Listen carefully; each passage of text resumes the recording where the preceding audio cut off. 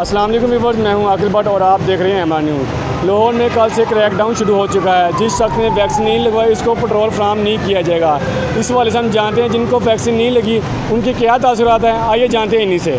जिन्होंने नहीं लगवाया, ओके, कहीं किसी भी कन्वेंस पे, सफ़र पे निकलना है आमदोरफ्त के लिए पहली तरीक से उन्होंने बंद कर दिया अब लगवाने के लिए एक डोज वगैरह लगवाएँगे फिर। मतलब जब लगवा लेंगे तब कर लेना।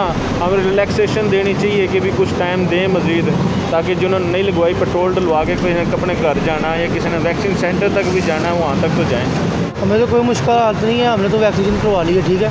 तो सबको चाहिए कि वैक्सीन लगवाए ठीक है अपना भी फ़ायदा और हुकूमत का भी फ़ायदा है और मुल्क का भी फ़ायदा है। कस्टमर आते हैं लड़ाई झगड़ा करते हैं जिनसे भी पूछते हैं कि हुकूमत का अच्छा इकदाम है वैक्सीन लगवाई है नहीं लगवाई है एहतियातन तो कुछ लोग लड़ने झगड़ने लग जाते हैं, कुछ कहते हैं, आपका इससे क्या है? कुछ कहते हैं, पाकिस्तान में कानून नहीं है यहाँ कोई कानून नहीं है, किसी किस्म का गरीब के लिए कानून है, जी, छोड़ो जी, ये क्या है? इस तरह की लोग हरकतें करके चले जाते हैं, कोई नहीं कोई अमल दरामद नहीं है किसी बात पे भी।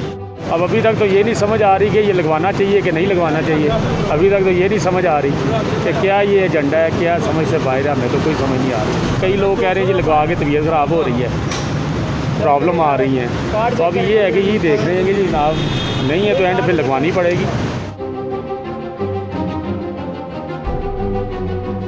जी नाजरीन, जैसा कि आपने देखा वैक्सीन के बगैर पेट्रोल फ्राम नहीं किया जा रहा। लिहाजा आपको चाहिए वैक्सीन लगवाएँ ताकि आपको तमाम सहूलतें मिल सके। अभी के लिए अपने मेज़बान आकिल भट्ट को इजाज़त दीजिए। मिलते हैं एक नई वीडियो के साथ। अल्लाह हाफिज़।